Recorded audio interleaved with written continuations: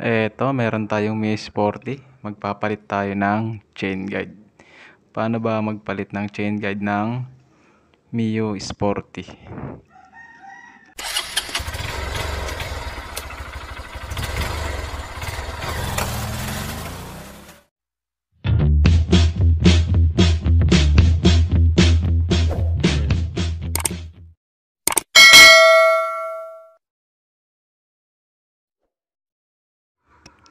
Eto, tinanggal muna natin yung kanyang CVT. Pati yung ah, carburetor. Yan, yung mga fairings dyan. Tatanggalin natin to yung mga bolt, yung mga cover dyan. Mga nakaharang dyan sa cylinder. Tatanggalin muna natin yan. Yan, tatanggalin natin tong dalawang alien na cap ng ah, timing sprocket. Yan, tatanggalin natin yan. Then, yung anim na bolt dyan sa cylinder head. Pero, i-timing muna natin to. I-relax position muna natin yung valve. Kailangan naka-top dead center. I-DC muna natin. Bago natin baklasin. Ayan guys, may arrow yan dyan. Pag tumapat na yung guhit dyan, ayan, naka-top dead center na siya. Ayan pag inalog nyo yung valve, yung rocker arm, dapat may play. May play yan. yan. Naka-elevate yan dyan. Tatanggalin natin tong 12mm bolt dyan sa time sprocket. Yan. Yan yung top dead center niya. Yung mark ng may mark dyan sa chain guide at uh, timing sprocket. Nakatapat dyan. Yan, tanggalin natin yung 12mm bolt. Yan. Then yung etong tensioner. Hindi na natin hinugot. Dito na lang natin papalitan sa may hindi na natin tinanggal yung chassis.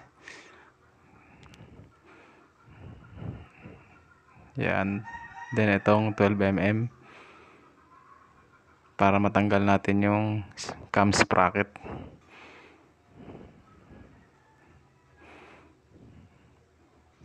Yan. Tanggalin natin itong sprocket chain na yung cam sprocket. Ito naka top dead center siya guys. Then yan, para naka-relax yung valve. Naka-relax position then ito tatanggalin na natin yung cam sprocket. Ayan. Ganun din ang pagbabalik natin guys. Tandaan natin yung panin top dead center niya. Ganun din natin siya ibabalik. Ganong position din. Yan, naka-relax position na yung valve. And sira na yung kanyang chain guide. Then, tatanggalin natin yung anim na bolt dyan sa cylinder head. Anim lang yung bolt niyan. Yan para matanggal na natin yung cylinder head.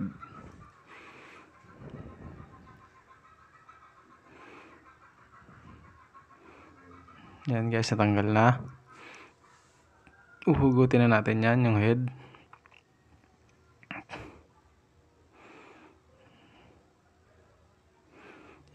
Pag chain guide chain guide chain guide lang yung papalitan. Kahit yung head lang ang uhugutin natin ito guys, sasira na yung kanyang chain guide yan. Nakabuka na siya. Medyo may lagitik na yan, may ingay na yan. Nagkakos na rin ang ingay yan. Ito yung alin niya, yung 5mm na alin.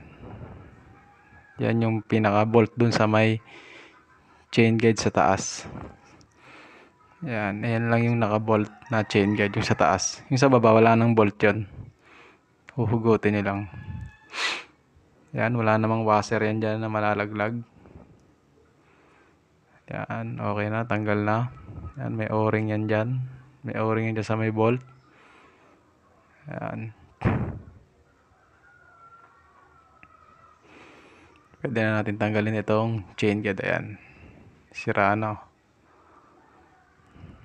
may mga debris na na nabasag sa chain guide ayan. Yan, palitin na talaga. Medyo may ingay na siya ng konti niyan.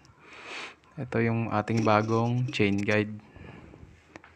Yung sa baba wala siyang ah, walang butas para sa bolt. Yung sa taas lang yung may bolt. Ito yan, yung taas lang. Ganun lang din yung pagbabalik. Kung paano natin tinanggal ang yung position ng pagtanggal, same lang din yung pagbabalik. Yan. Check nyo lang kung yung mga position ng parts na tinatanggal natin para pag binalik, the same lang din yung pagbabalik. Kagaya nito. Ayan. Naka-top dead center na yan. Ayan yung guhit na yan nakatapat dyan sa timing mark ng sa cylinder head yan may arrow siya. Yan. Bali nakataas kahit nakataas siya ng konti. Okay na yun. Tapos yung ah tensioner yan. Naka-release na rin yan. At mahigpit na rin yung timing chain. Tapos check nyo yung valve kung may play na siya. Ayan. Or i-adjust nyo na lang yung tamang clearance.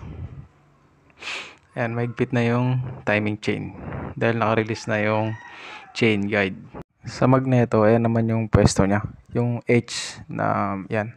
Yung may arrow na yan nakatapat dyan. So, yun guys, naka-timing na. At ibabalik na, na natin yung mga tinanggal natin. At maraming salamat sa inyong panonood. Huwag niyong kalimutan mag-like and subscribe. Ingat sa pagkalikot. At sana may natutunan kayo. God bless po sa inyo.